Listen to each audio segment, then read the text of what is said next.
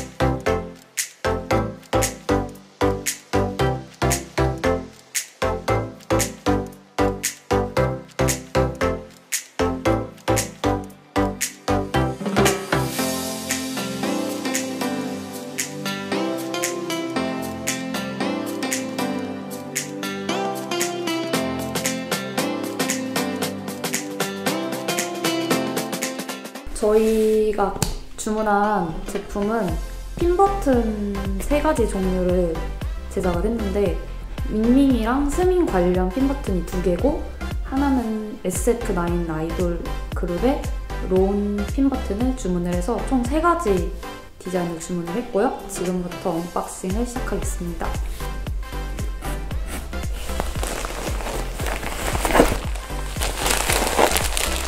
재질을 무광으로 선택을 해서 하나하나 다 개별 포장이 돼서 왔어요. 무, 무광은 아무래도 겉에 기스가 나기 쉬워서 이거는 동그란 모양으로 제작을 했고 얘도 마찬가지로 무광 재질로 제작을 했습니다. 마지막은 SF9 노은의 핀버튼인데요.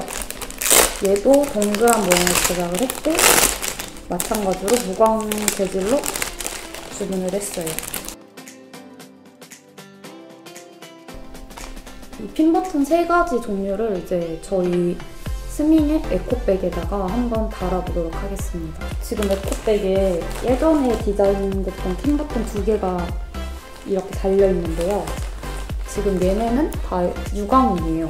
보면 광이 좀 반짝반짝하게 나고 있는데 여기 옆에다가 한번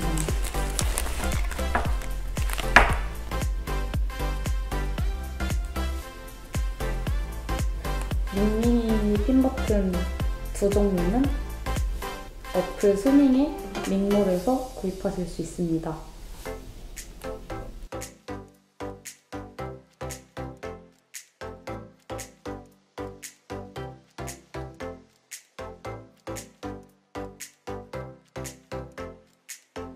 Música